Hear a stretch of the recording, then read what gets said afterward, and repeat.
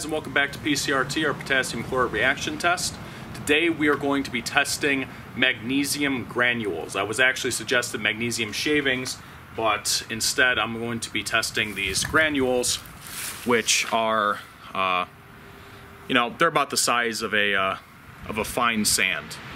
It's going to save me a lot of time instead of having to generate a bunch of shavings. This was suggested by Mama Fat Cakes, nice name. Uh, and we have two grams magnesium granules to four grams of potassium chlorate per the usual.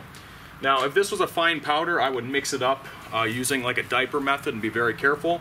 But because these are sort of coarse granules, I'm not super concerned about it. But I still am wearing a full face mask and I'm going to be using gloves just in case anything does happen. And I'm going to be doing the shaking uh, rather gingerly. So keep that in mind. Just do a nice, gentle mix here. The, the chlorate is a lot less stable than perchlorate, especially when it comes to like impacts and stuff like that. So you want to be uh, very careful when when mixing it, especially with a more aggressive thing such as uh, metal powders like aluminum or magnesium. And the thing is, too, is because these are granules, I have a feeling they're not going to mix very well at all. I think that's going to be about as best as I'm going to get it. You guys can see it okay. It's about the look of like pepper mixed in with salt. So, let's go ahead and test it out. This is uh, 4 grams potassium chlorate with 2 grams of uh, magnesium granules, like a fine sand. We're gonna test it in three, two, one.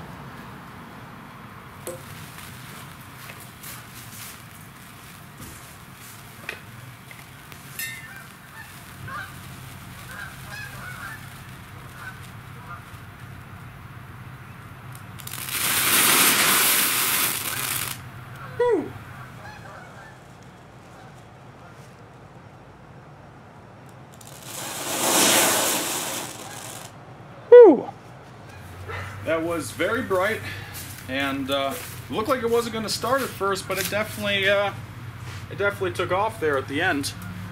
Worked pretty good. Thank you guys. Oh, you know, actually, I want to show you guys something real quick before I, uh, I end this video. But yeah, that definitely worked very good, non-surprisingly. Be right back. One of the things I want to show you real quick is just how absurdly reactive magnesium is anyways. We have these magnesium granules we just tested with uh, in a spoon.